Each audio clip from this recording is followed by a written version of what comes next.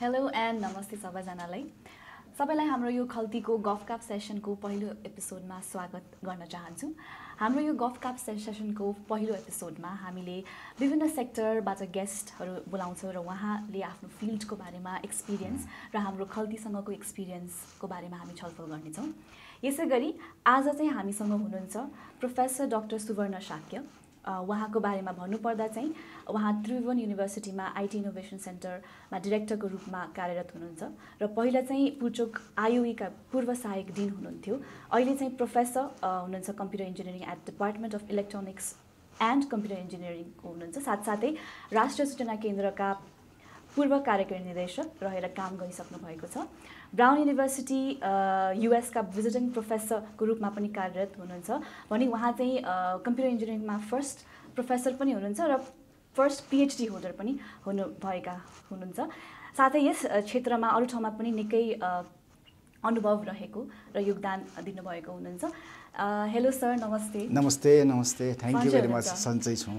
तपाईँको यस्तो बिजी सेड्युलबाट आज खल्तीलाई टाइम दिएकोमा धेरै धेरै धन्यवाद दिन चाहन्छु। थ्याङ्क यू भेरी मच मलाई यसरी बोलाएर केही मेरो आफ्नो व्यक्तिगत कुराहरू सेयर गर्न मौका दिनुभएकोमा म धन्यवाद दिन चाहन्छु आयोजकलाई। सो हाम्रो फर्स्ट गफ सेसन हाम्रो जुन हाम्रो यो खल्तीको चारजना फाउन्डर हुनुहुन्छ उहाँको गुरुको रूपमा हजुर हुनुहुन्छ। त्यसैले हामीले फर्स्ट सेसनै हजुरबाट सुरु एकदम धन्यवाद। जेलरले जो सम्झ्यो त्यही ठुलो कुरा मेरो लागि हो है। फेरि पनि एकदमै स्वागत गर्न चाहन्छु। थ्याङ्क यू भेरी मच तपाईँको इन्ट्रोडक्सन डक्सन त मैले दिइहालेँ। तर तपाईँबाट पनि अलिकति सुनौँ। पछिल्लो समयमा केमा व्यस्त हुनु हुनुहुन्छ होइन? हजुर अहिले जुन अर्गनाइजेसनहरूमा एसोसिएट हुनुहुन्छ र पहिला जुन अर्गनाइजेसनमा एसोसिएट हुनुहुन्थ्यो उसको बारेमा अलिकति एक्सपिरियन्स सेयर गरिदिनु होला। किनभने हाम्रो जुन हामीलाई हेरिराख्नु भएको महानुभावहरूको हजुरको जुन जर्नीको बारेमा सुन्न सेयर गरिदिनु भयो भने अलिकति इन्सपायर अथवा प्रेरणा वास्तवमा मैले चाहिँ एकाडेमिक इन्स्टिट्युसनमा धेरै नै काम गरेँ। लगभग मेरो पच्चिस वर्ष पुरा भएर छब्बिस वर्षमा लागेको छ होइन? अब यो एकाडेमिक फिल्डमा यो कम्प्युटर इन्जिनियरिङ नेपालमा सुरु गर्नमा मैले धेरै कुराहरू अगाडि बढाएँ। त्यसमा चाहिँ सिलेबस बनाउनेदेखि लिएर होइन? त्यसपछि मास्टर डिग्रीको कसरी चाहिँ सञ्चालन गर्ने होइन? नेपालमा। अब यो त्रिभुवन युनिभर्सिटी मात्रै होइन। पूर्वाञ्चल विश्वविद्यालयमा पनि मैले इन्भल्भ छु होइन? अनि त्यसमा चाहिँ एज अ सब्जेक्ट कमिटीको चेयरम्यान एकाडेमिक काउन्सिलमा त्यसपछि पोखरा विश्वविद्यालय काठमाडौँ विश्वविद्यालयमा एउटा एक्सपर्ट ग्रुपमा होइन? विषय समितिमा म छु।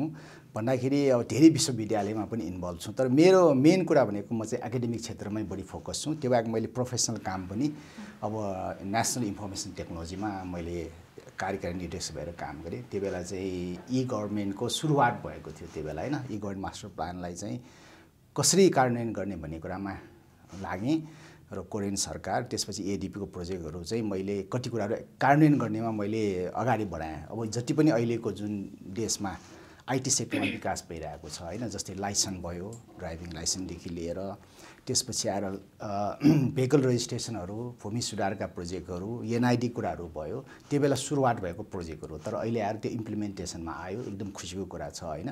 त्यस कारण सुरुवात त त्यसरी भयो नि त होइन? त्यसपछि आएर मैले बढी नै फोकस चाहिँ मैले रिसर्चमा कामहरू गरेँ होइन? अब मेरो पेपरहरू पनि धेरै छन् होइन? अब विद्यार्थीहरू लगायत। म अठरहरू भएर हामीले धेरै रिसर्चहरू गरेका छौँ। त्यो इन्टरनेसनल पब्लिस पनि छ र त्यसले गर्दाखेरि एकदम साइटेसन पनि बढिरहेको छ। भन्दाखेरि हाम्रो रिसर्चलाई नेपालमा नेपालमा गरेको विद्यार्थीको रिसर्च पनि इन्टरनेसनली रेकगनाइज भएर अरूले गरिरहेको छ। त्यो बाहेक अब मैले अरू पोलिसी लेभलमा होइन जस्तै आइटी पोलिसी टु थाउजन्डमा फर्स्ट आइटी पोलिसी आयो। त्यसपछि सेकेन्ड पोलिसीमा मैले चाहिँ काम गरेँ होइन। थुप्रै पोलिसी गभर्मेन्टको चाहिँ इन्टरप्राइज आर्किटेक्चरमा एज ए एक्सपर्टको रूपमा काम गरेँ धेरै कुराहरू अब नेपालको चाहिँ कस्तो खालको हुनुपर्छ भन्ने कुरामा यो आइटी सेक्टरमा बढी नै मैले चाहिँ कामहरू गरेको छु है। त्यस कारण चाहिँ एउटा एक्सपर्टको हिसाबले एउटा विज्ञको हिसाबले गर्नुपर्ने मलाई बोलाएर गभर्मेन्टले पनि एउटा विज्ञ रूपमा बोलाउँथ्यो मैले एउटा इनपुट दिने गरेँ र अहिले आएर धेरै नै कुराहरू नेपालमा विकास भएको देखेको छौँ। कि हाम्रो अब बिस वर्ष अगाडि र अहिले धेरै फरक छ नि त। हामीले विकास भएको देखिँदैन कि? हामीले खालि एक आपसमा कुरा मात्रै काट्छौँ। तर हामीले पहिला तपाईँहरूलाई थाहा होला टेलिफोनको बिल तिर्नलाई कति अप्ठ्यारो थियो। होइन अहिले आएर anywhere any place you can pay it अब जस्तै खल्टीहरू भयो अरू पनि थुप्रै छन्। हामीले पेमेन्टहरू त सहिलेसँग यति चाँडै हामी पेमेन्ट गर्न सक्छौँ त कुनै पनि बिजुलीको बिलदेखि लिएर सबै कुराहरू सिस्टमेटिक भएको छ है। थ्याङ्क यू सो मच आफ्नो आफ्नो जर्नी सुनाउनु भएकोमा एकदमै अ, धन्यवाद। सुन्नु र भइराख्नु भएको एकदमै मोटिभेसन पनि हुनुभयो होला। हजुरले भन्नु नै भइसक्यो आइटी फिल्डमा एकदमै लामो समयसम्म हुनुहुन्छ। अलिकति कभर पनि गर्नु भइसक्यो। मैले जुन सोध्न अ, चाहेको थिएँ नेक्स्ट क्वेसन जस्तो आठ दस वर्ष अगाडि र अहिलेको वर्तमान स्थितिको नेपालमा इन्फर्मेसन टेक्नोलोजी र डिजिटल क्षेत्रमा चाहिँ के कति फरक पाउनु भएको छ र सुधार पाउनु भएको छ? अलिकति अझै अब यो प्रोफेसनलको हिसाबले हेर्दाखेरि सबै व्यक्तिहरू अहिले यङ जेनेरेसनदेखि लिएर होइन ओल्ड जेनेरेसनहरू पनि अवेरनेस भएको छ कि आइटी चाहिन्छ गर्नुपर्छ भनेर होइन? अब दस वर्ष पन्ध्र वर्ष अगाडि त अब त्यति साह्रो अवेर थिएन होइन? मैले अब सिंहदरारमा डाटा सेन्टर इस्टाब्लिस गरेर जसलाई जिआइडिसी भन्छ। Government integrated data centre establish गर्न अगाडि डाटा सेन्टर भनेको के हो भन्ने कुरा बुझाउनलाई यति गाह्रो भयो। बुझ्दै बुझ्दैन पार्लियामेन्टको मेम्बरले पनि त्यति राम्रो बुझ्दैन। हामी क्लासै लिएँ त्यहाँ गएर होइन विभिन्न किसिमको। बिस्तारै अनि त्यसपछि आएर डाटा सेन्टरको महत्त्व बुझ्दै आयो। अहिले डाटा सेन्टर यति महत्त्वपूर्ण छ कि त्यो बेला कसैले पनि डाटा राख्न चाहँदैन थियो कि। अहिले आएर यति त्यो डाटा सेन्टरमा डाटा राख्नलाई गभर्मेन्टदेखि लिएर युनिभर्सिटीदेखि लिएर सबैले राख्न चाहन्छन्। भन्दाखेरि यो डाटा सेन्टर त महत्त्वपूर्ण भन्ने कुरा बुझ्यो नि त। अनि त्यसपछि आइटी त विकास हुनुपर्छ भने त बुझ्यो नि त अब। किनभने कोरिया जस्तो अरू डेभलप कन्ट्रीहरूमा होइन IT as a tools use भएर कति अगाडि बढिसक्यो तिनीहरू स्पेनदेखि लिएर इस्टोनियादेखि लिएर इभन इन्डिया होइन। भनेको हाम्रो नेपालमा पनि एउटा देशलाई अगाडि बढाउनलाई ICT we can use as a टुल्सको रूपमा हामीले प्रयोग गर्नुपर्छ। इकोनोमिक डेभलप पनि हुन्छ पारदर्शी हुन्छ सबै कुराहरू सिस्टमेटिक रूपमा त्यसले गर्छ कि। अनि गभर्नेन्सलाई चाहिँ ई गभर्नेन्स बनाउनुमा हामी महत्त्वपूर्ण भूमिका खेलिन्छ। त्यस कारण त्यस्तो किसिमले हामी अगाडि बढ्नुपर्छ। त्यस कारण चाहिँ पहिला र अहिलेको केसमा चाहिँ धेरै हाम्रो ड्रास्टिकली चेन्ज भइसक्यो। त्यो मैले भन्दा पनि अहिले त सबैले बुझिसकेको कुरा हो भने everything is online online payment system सबै कुराहरू सिस्टमेटिक भइरहेको छ हजुर। बैङ्किङ सिस्टमदेखि लिएर होइन। अब खल्ती पनि एज अ फिन्टेक कम्पनी होइन? हामी। आइटी फिल्डमै छौँ। तपाईँको विचारमा जुन खल्तीले अहिले डिजिटल नेपाल बनाउन जुन कन्ट्रिब्युसन गरिरहेको छ नि तपाईँको अनुसारमा अझै पनि खल्तीले के कस्तो काम गर्नुपर्छ जस्तो लाग्छ तपाईँलाई? अब मैले चाहिँ के भन्ने गरेको छु भन्दाखेरि ई गभर्मेन्ट इम्प्लिमेन्टेसन गर्नलाई पिपी मोडेलमा जानुपर्छ पब्लिक प्राइभेट पार्टनरसिप त्यस कारण यो। खल्टीले जुन चाहिँ पिपी मोडेलमा एउटा चाहिँ भूमिका खेलिरहेको छ नि होइन? गभर्मेन्ट ई गभर्मेन्टमा जानलाई त सबै कुरा अनलाइन हुनु पऱ्यो अनलाइन डिजिटल सिस्टम हुनु पऱ्यो डिजिटल ट्रान्सफर्मेसन हुनु पऱ्यो त्यसपछि डिजिटल पेमेन्ट हुनु पऱ्यो त्यो डिजिटल पेमेन्टको लागि त एकदम खल्तीले त भूमिका खेलिरहेछ नि त होइन एक किसिमको। किनभने पेमेन्ट सिस्टमलाई त सहिलो पारिदिएको छ नि त अहिले होइन? जसलाई पनि अब जस्तै हाम्रो इन्ट्रान्स सिस्टम पुल्चोकै इन्ट्रान्स सिस्टममा अनलाइन पेमेन्ट गर्ने सिस्टमहरू बनाइदिएको यसबाट गर्न सक्ने भयो। हाम्रो दैनिक जीवनमा हामीले चाहिँ पेमेन्ट गर्ने सिस्टमहरू अब त्यो त्यो बाहेक चाहिँ अब डिजिटल ट्रान्सफर्मेसन डिजिटल नेपाल बनाउनमा इलेक्ट्रोनिक पेमेन्ट सिस्टममा यसले ठुलो रोल खेल्छ। यसका साथै अब यसले चाहिँ रिसर्च एन्ड इनोभेसनमा पनि अलिकति कामहरू गर्नुपर्छ। किनभने ताकि त्यो कसरी सेक्योर गर्न सकिन्छ सेक्युरिटीको कुरा पनि त आउँछ नि। त्यसलाई फोकस गरेर अलिकति रिसर्च इनोभेसनतिर पनि फोकस गर्दाखेरि अझ बेस हुन्छ यो खल्टी यो संस्थाले। है सो अहिले हामीले आयो पुल्चोकसँग त यतिकै कोलाबरेट त गरेछौँ हजुर, हाम्रो एन्ट्रेन्स अँ, अँ, फी हजुर। को पेमेन्टको लागि होइन। तर अझै पनि हुन्छ नि एजुकेसनल सेक्टरसँग चाहिँ खल्तीले चाहिँ अझै के कस्तो कोलाबोरेसन अब एडुकेसन सेक्टरमा के छ भन्दाखेरि अब हाम्रो मेन कुरा अब विद्यार्थीहरू हुन्छन् होइन? ब्याचलरको मास्टरको इभन पिएचडीको स्टुडेन्ट पनि छन्। त्यसलाई रिसर्चमा इन्भल्भ गराउनु पऱ्यो होइन? रिसर्च कोलाबोरेसन हामी गर्न सक्छौँ।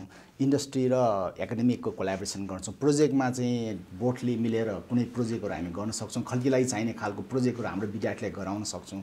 त्यस कारण त्यो महत्त्वपूर्ण हुन्छ। त्यसरी चाहिँ यी रिसर्च कोलाबोरेसन त गर्नु छ होइन। रिसर्च कोलाबोरेसनमै बढी फोकस गर्नु पऱ्यो र हाम्रो इन्टर्नसिपहरू प्रोभाइड गर्ने त्यसमा चाहिँ बढी फोकस गर्नु पर्ला हुन् जस्तो लाग्छ है मलाई। हजुर। विद्यार्थीको कुरा गर्दा गर्दै अब हजुरले पढाएका थुप्रै विद्यार्थीहरू देश विदेशमा ठुल्ठुला कम्पनीमा पुगेको पुग्दाखेरि हजुरलाई चाहिँ कस्तो मलाई एकदमै खुसी लागेको छ। म अब म चाहिँ अब युएस पनि गइरहेको हुन्छु। त्यहाँ चाहिँ अब अस्ति जाँदाखेरि सान फ्रान्सिस्कोमा कोही फेसबुकमा काम गरिरहेछन् कोही गुगलमा कोही आइबिएममा ठुलो ठुलो चाहिँ कम्पनीहरूमा गइरहेछ कि? इभन नेपालमा पनि कम छैन नि त। नेपालमा पनि एकदम लिडरसिप त गरिराखेन अमितै अमितजी नै भयो यहाँको होइन? हाम्रो चाहिँ त्यसबाहेक अब अरू विद्यार्थीहरू पनि यस्तो खालको नेपालमा एउटा लिडरसिप लियो नि त होइन? भन्दाखेरि अब इन्टरनेसनली हाम्रो विद्यार्थी छन्। भन्दाखेरि हाम्रो विद्यार्थी त राम्रै विद्यार्थी छन् त्यसको मतलब हामीले प्रड्युस गर्ने क्वालिटी क्वालिफाइड नै फ्याकल्टीदेखि लिएर फ्याकल्टी भएर पनि काम गरिरहेछन् होइन? विभिन्न युएसको युनिभर्सिटीमा प्रोफेसर भएर पनि काम गरिरहेछन् यसका साथै they are working as a होइन। आइटी एक्सपर्ट होइन? आइटी प्रोग्रामिङ कोही सेक्युरिटीको एक्सपर्ट भन्दाखेरि हाम्रो विद्यार्थीहरू संसारभर नै छरिसकेको छ। त्यस कारण चाहिँ हाम्रो नेपालको एडुकेसन क्वालिटी त राम्रै छ भने त्यसले बुझिन्छ नि त होइन? अमित सर मात्र होइन हाम्रो अरविन्द सर अरविन्द। अरविन्द शाह अमित दुवै दुवैजना मैले अघि नाम मनिष सर हुनुहुन्छ अरविन्द सर मनिष दुर्गा सर हुनुहुन्छ। तपाईँकै। विद्यार्थी हजुर, हजुर, हजुर। आज खल्ती नै उहाँले नै खोलेकोमा आउनु पाउँदा चाहिँ तपाईँलाई कस्तो एकदम खुसी? लागेको छ किनभने आफ्नो विद्यार्थीहरूले होइन आफ्नै चेलाहरूले खोलेको संस्थामा एक किसिमले मलाई गुरु भनेर बोलायो नि त्यही मेरो लागि ठुलो कुरा हो नि रेस्पेक्ट हुने। आदर हुने होइन? अब हामीले पढाएर होइन विद्यार्थीले हामीले रेस्पेक्ट गर्ने भनेकै ठुलो कुरा हो नि त होइन? त्यो। त्योभन्दा ठुलो अरू हुँदैन गुरुको लागि। त्यस कारण चाहिँ त्यो नै मेरो लागि एकदमै ठुलो खुसीको कुरा हो है। म अरविन्द लगायत अमितलाई एकदमै धन्यवाद। अब इभन अरू विद्यार्थीहरू पनि छन् यहाँ सबैलाई मेरो म चाहिँ धन्यवाद दिन चाहन्छु हजुर। हुन्छ त थ्याङ्क यू सो मच जाँदा जाँदै तपाईँले एकदमै रमाइलो कुरा राम्रो कुरा गरेर हामीले कन्क्लुड गरेको थियौँ आजको गफका सेसनको हामी अन्तिममा आइसकेका छौँ thank you so much for coming आज फेरि पनि थ्याङ्क यू भन्न चाहन्छु र हामीलाई टाइम दिएकोमा धेरै धेरै धन्यवाद। मेरो तर्फबाट पनि धन्यवाद। तपाईँलाई विशेष गरेर इन्टरभ्यू लिनुभयो है। विशेष आयोजकलाई म धन्यवाद दिन चाहन्छु। Thank you very. Much thank you so आजको हाम्रो फर्स्ट एपिसोड अफ गफ क्याप सेसनको हामी अन्त्यमा आइसकेका छौँ। हामी नेक्स्ट गफ क्याप सेसनको एपिसोड टू लिएर फेरि पनि आउनेछौँ। नेक्स्ट नयाँ गेस्ट लिएर। त्यतिन्जेलसम्म स्टे ट्युन थ्याङ्क यू नमस्ते।